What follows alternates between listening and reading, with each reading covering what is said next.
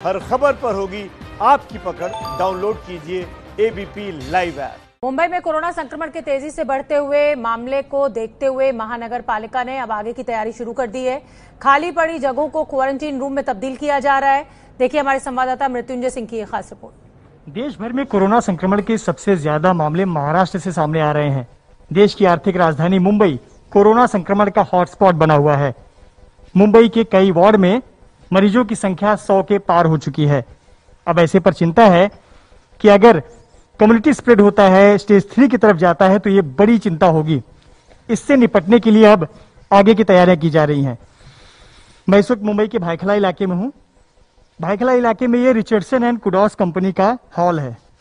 Richardson and कुडॉस company का जो ये हॉल देख रहे हैं, ये बंद पड़ चुका है और इस बंद पड़े हॉल का कंपनी का इस्तेमाल क्वारंटाइन हॉल बनाने के लिए किया गया है। दो दिनों के समय में इस पूरे हॉल को साफ़ किया गया। इसकी रंगाई पुताई की गई डिसइंफेक्ट किया गया और फिर 200 बेड का क्वारंटाइन हॉल यहाँ पर बनाया गया है। इसी हॉल में दो अलग कमरे बनाए गए हैं।